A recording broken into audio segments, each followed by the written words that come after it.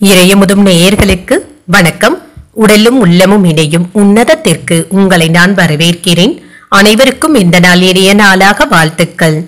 இன்றைய நாள் உங்கள் அனைவருக்கும் நல்லதே நடக்கும். இன்று உங்களுக்கு ஒரு நல்ல நாளாகவும் இருக்கும். இந்த வீடியோ உங்களுக்கு பிடிச்சிருந்ததுன்னா லைக் பண்ணுங்க. உங்களோட ஃப்ரெண்ட்ஸ்க்கு ஷேர் பண்ணுங்க. உங்களுடைய கருத்துக்களை கமெண்ட் பண்ணுங்க. மறக்காம இறையமுதம் சேனலை சப்ஸ்கிரைப் பண்ணிக்கோங்க.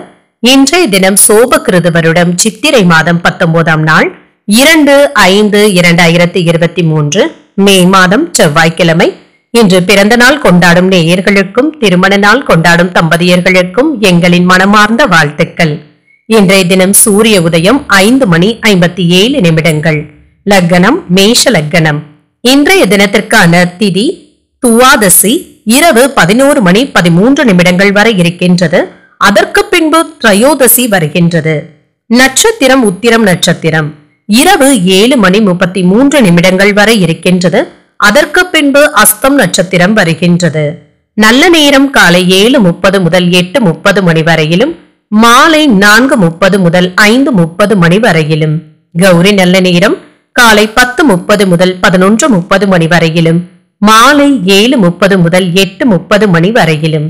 ராகு காலம் மூன்று முதல் நான்கு முப்பது மணி வரையிலும் இரவு ஒன்பது முதல் பத்து முப்பது மணி வரையிலும். குளிகை பனிரெண்டு முதல் ஒன்று முப்பது மணி வரையிலும்.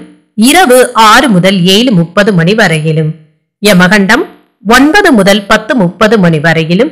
இரவு ஒன்று முப்பது முதல் மூன்று மணி வரையிலும். இன்று யோகம் சித்த யோகம் இருக்கின்றது. அதிகாலை ஐந்து மணி ஐம்பத்தி ஏழு நிமிடங்கள் வரை இருக்கின்றது. அதற்கு பின்பு அமிர்த யோகம் வருகின்றது. இரவு ஏழு மணி முப்பத்தி மூன்று நிமிடங்கள் வரை இருக்கின்றது. அதற்கு பின்பு சித்த யோகம் வருகின்றது. கரணன் ஏழு முப்பது முதல் ஒன்பது மணி வரையிலும். இன்றைய தினத்திற்கான சூளம் வடக்கு பரிகாரம் பால் சந்திராஷ்டமம் அவிட்டம் மற்றும் சதயம் நட்சத்திரக்காரர்களுக்கு இன்றைய நாள் உங்களுக்கு ஒரு மகிழ்ச்சியான நாளாகவும் மன நிறைவுடன் கூடிய நாளாகவும் அமைய வாழ்த்துக்கள்.